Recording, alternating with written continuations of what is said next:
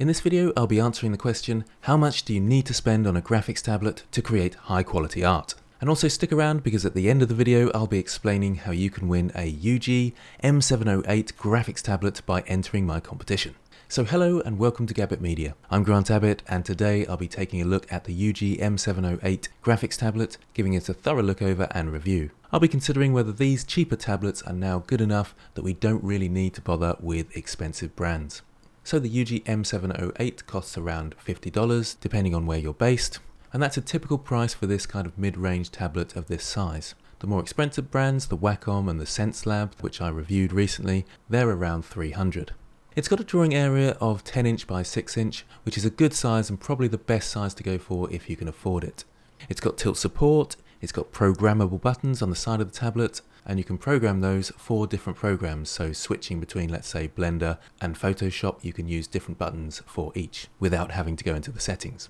It's powered through a single USB cable, the pen's wireless, so there's no charging, and the pen has two programmable buttons as well and that is very important if you're doing work in Blender. Using one of the pen buttons for the middle mouse button is vital. In the past with these mid-level graphics tablets around this price, I've had problems installing drivers but they seem to have sorted these things out. I installed the drivers and it worked without any problems at all. In the pen test, I drew a straight line using a ruler and there wasn't much pen wobble. I don't find that's massively important, it's sort of the classic test that you do with these tablets, but you really don't notice it when you're drawing. The pen pressure felt really nice, and that was just with the basic settings, I didn't have to change anything. I could easily go from a narrow to thick brush or strong to hard brush really smoothly, and my curved lines felt really nice and comfortable. I actually preferred this to the Xencelabs that I tried recently, and that's one of the more expensive brands. So how does it feel generally when I'm painting and drawing and sculpting? I did a quick practice sketch, but unfortunately Krita crashed on me. Nothing to do with the tablet, I just haven't updated Krita for a while, and I keep forgetting, I must admit in the more expensive tablets I prefer the pens that are used, the size just feels more comfortable in my hand and the buttons are a bit better positioned. It's certainly nothing that warrants the big price difference though. I'm actually thinking of getting a laptop soon so I can work a bit more remotely and I'm going to keep this tablet and use it for that. It worked really nicely in Blender as well, again no driver problems, it all worked just fine. I would say on that note that the quality of the graphics tablet isn't as important if you're sculpting for some reason. I've found you don't have to be as detailed but it does make more of a difference for 2D painting or texture painting. So you can definitely get away with cheaper tablets for sculpting. Having said that, I found this tablet was really great for both 2D and the sculpting. So how does this compare to something like Wacom, or maybe the Xencelabs I reviewed a short time ago? Well yes, again, it's not quite as comfortable in my opinion, and that could be a more preference thing. The Xencelabs does come with some nice features. It can be used wirelessly, so no cables. It has two pens of different sizes. It has a nice controller but it's not really worth £250 more. The Wacom's a similar cost but doesn't have some of those extras. So I would say don't bother with the more expensive brands. I just don't really feel it's worth it in my opinion. Yes, if you're drawing and painting absolutely loads all of the time, then get top of the range kit for that maybe 3% difference in feel, but otherwise stick to these tablets. However, this is not the same advice I would give about display tablets. Wacom is still the best here, and for serious artists, I would still recommend them. Having said that, I have a display tablet that's not Wacom and I'm pretty happy with it.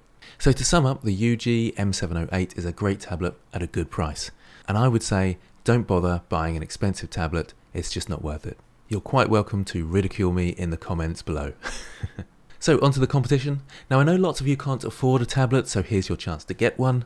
The theme of the competition is original game characters and I want you to draw this using traditional methods, not digitally. So for example, use pencil and paper or pen and ink, it doesn't matter, but it must be traditional. The reason being is that I want to give this tablet to someone who has not got a tablet, but has been practicing their art, building up their skill levels, and would really benefit from one.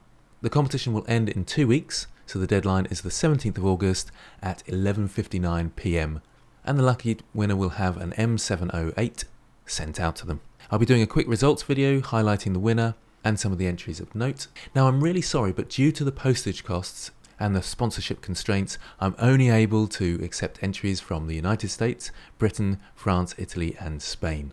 That list will be in the description.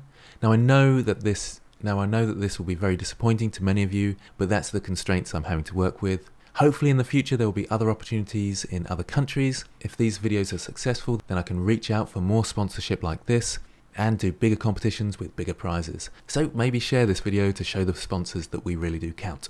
Also, I have 20 40% off coupons, and I'll give those away to the first people to comment below with the word coupon. And you'll receive your discount code, but I can only do that 20 times. So check the comments to see if you got anywhere. And again, I'm very sorry, but that's only the countries listed in the description that I mentioned earlier. To enter the competition, go to the channel on my Discord and post your artwork there. So lastly, thanks to Ugee for sending me the tablet, and thanks to you guys for watching. I'll see you next time.